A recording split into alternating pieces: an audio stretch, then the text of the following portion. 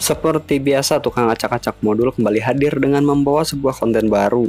Yang biasanya konten yang gua bawa itu selalu buat device middle, tapi yang sekarang gue sajikan modul Magis berikut tweak dan ini bisa kalian install di device kalian yang termasuk golongan umbi-umbian atau bisa kalian simpulkan buat Snapdragon 600 ke bawah dan ini support juga buat tipe MediaTek. Silahkan lanjut dengan intro yang membingungkan.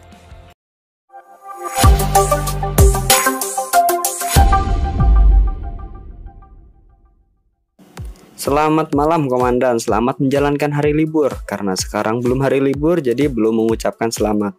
Seperti biasa gua hadir membawa sedikit racikan yang bisa kalian terapkan pada ubi bakar kalian. Tweak ini termasuk tweak legendari yang sampai sekarang masih bisa kalian install. Tweak ini nggak terlalu sulit cara installnya cukup kalian jalankan lewat S Manager Tweak ini akan berjalan otomatis di saat kalian sukses install dan akan terus berjalan sampai kalian menonaktifkannya secara manual lewat S Manager. Kalian bisa install dan terapkan tweak ini pada ubi bakar tipe Snapdragon 600 ke bawah dan kalian juga bisa install pada MediaTek. Kalian bisa menggabungkan tweak ini dengan modul Magis yang lainnya, terkecuali modul Magis yang memiliki fitur LMK. Banyak banget tweak rekomendasi yang sudah gue share dan bisa kalian coba.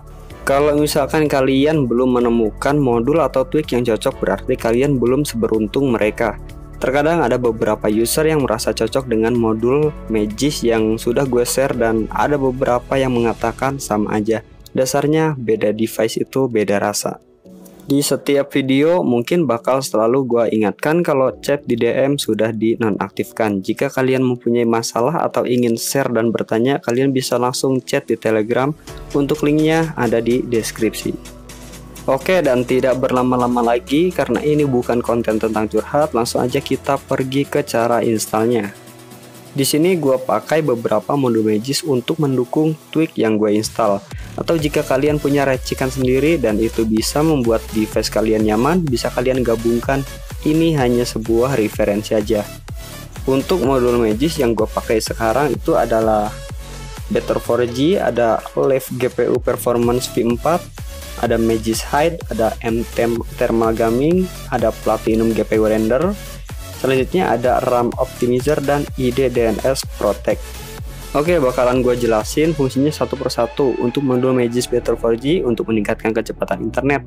Karena rumah gue di kampung, jadi butuh suntikan kecepatan internet biar lebih mantap. Untuk modul Magis GPU Performance adalah modul yang merubah render CPU ke GPU dan merubah governor GPU menjadi performance. Fungsinya untuk menstabilkan FPS di saat ada frame bergerak. Untuk modul Magis yang selanjutnya adalah Magis Hide yang fungsinya adalah untuk memanipulasi sistem Android kalian. Bisa untuk bifas, fingerprint, dan merubah sel Linux di Android. Untuk modul Magis M Therma adalah modul Magis untuk memodifikasi spesifikasi clock speed dan menaikkan suhu CPU agar core control tidak aktif di suhu tertentu. Untuk yang selanjutnya adalah modul Magis Platinum. Ini adalah modul Magis untuk meningkatkan sensitivitas touchscreen dan menurunkan frame yang ada di layar Android. Modul Magis RAM Manager adalah modul Magis yang memodifikasi Low Memory Killer yang fungsinya adalah untuk menurunkan penggunaan RAM di setiap aplikasi yang kalian install. Untuk modul Magis di DNS, kalian tahulah, modul Magis yang fungsinya mengganti DNS di Android kalian dan mengganti dengan DNS Asia yang fungsinya adalah untuk menstabilkan ping di saat kalian main game dan ini juga bisa menambah sedikitnya koneksi internet di HP kalian. Buat yang mau install modul Magis, kalian tekan tombol plus yang ada di bawah. Selanjutnya kalian cari modul Magis yang mau kalian install. Ada beberapa modul Magis yang tinggal install dan ada beberapa modul Magis yang membutuhkan settingan ulang. Kalian bisa melihat video yang, yang lainnya membahas tentang cara install modul Magis.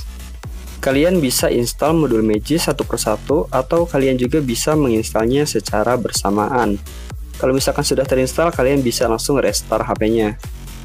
Untuk menjalankan tweak ini, kalian nggak perlu menginstal via Magis atau TWRP, karena yang kalian butuhkan hanya Box dan S Manager yang bisa kalian install via Play Store. Pertama-tama kalian harus punya dulu Busi Box karena tanpa Busi Box kalian tidak bisa menjalankan tweak ini. Kalau misalkan Busi Box belum terinstall di sistem Android kalian, kalian bisa install Busi Box lewat aplikasi atau lewat modul Magis. Itu sama aja. Di sini gue pakai Busi Box yang versi aplikasi karena menurut gue ini lebih gampang dan lebih mudah cara installnya. Kalau misalkan kalian sudah sukses menginstal Busybox, kalian bisa cek ulang di bagian terminal emulator dengan ketik so enter kemudian kalian ketik Busybox. Dan untuk Busyboxnya sudah sukses terinstall. Sekarang kita pergi lagi ke Play Store dengan mendownload aplikasi S Manager buat menjalankan tweaknya. Seriusan bro, gue ngomong kayak gini kok mak perasaan malah ngap banget. Kita ngobrol santai aja. Nah di sini kita install dulu script manager yang ada di Play Store. Di sini memorinya juga tidak terlalu besar, jadi nggak terlalu memakan internal yang ada di HP kalian. Oke, kita buka aplikasinya dan kita klik Browse as root. Nah, kemudian kita centang jangan tanyakan lagi. Kemudian kita cari script atau tweak yang tadi udah diinstal. Untuk linknya gue pasang di kolom deskripsi. Di sini nama tweaknya adalah X-Force Game, yang tentunya ini pasti buat game ya. Yang pertama kalian harus tekan dulu gambar tengkorak atau alias su, dan kalian tekan boot. Selanjutnya kalian ketik run untuk menjalankan, dan di situ ada in install X-Force Gaming DXT 7110. Kalian tinggal ketik aja huruf I besar, kemudian kalian enter. Kalian tunggu tweak ini terinstall secara otomatis. Buat kalian yang install tapi masih gagal, kalian bisa cek Busy Box takutnya belum terinstall. Kita tunggu sebentar lagi dan oke okay, sukses. Di sini ada buat uninstall dan ada buat run. Jadi kalian harus tekan huruf R besar buat menjalankannya. Selama proses install klik kalian jangan menekan tombol apa pun atau kalian jangan berpindah ke aplikasi yang lain. Ya walaupun tweak ini agak sedikit lama cara installnya. Dan tweak ini bakalan terus berjalan meskipun HP kalian sudah di restart, kecuali kalian sudah menonaktifkan secara otomatis di S Manager.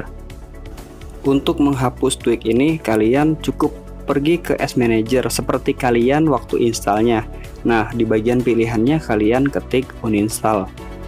Karena ini modelnya tweak, jadi kalian nggak bisa menghapus tweak ini dengan menghapus beberapa file yang ada di sistem atau di data tweak ini akan lebih berpengaruh dan akan lebih meningkat kalau misalkan kalian pakai custom ROM dan pakai custom kernel. Soalnya tweak ini untuk memodifikasi kernel yang ada di HP kalian. Tapi buat kalian yang Snapdragon 600 ke atas, kalian bisa mencoba install tweak ini. Mungkin aja bisa support dan bisa dijalankan di tipe chipset yang ada di HP kalian. Dan di sini sudah sukses terinstall. Selanjutnya kalian ketik huruf E untuk exit. Kalau misalkan kalian sudah tekan E dan kalian enter, kalian tunggu tanda kill itu berubah menjadi X. Kalau misalkan sudah X, otomatis sudah keluar. Kalian cukup menutup aplikasi S Managernya. Modul Magis dan Tweak itu rupa-rupa warnanya dan macam-macam rasanya. Kalian bisa coba satu persatu sampai kalian bisa temukan modul Magis atau Tweak yang bisa membuat kalian puas akan performa yang dikeluarkan di face kalian. Dasarnya yang namanya manusia itu nggak ada puasnya ya bro. Oke cukup sampai di sini dulu videonya. Semoga kalian paham apa yang gue jelasin dan kalian sukses cara installnya. Untuk feedbacknya silahkan kalian tulis di kolom komentar. Oke so sampai ketemu di video selanjutnya.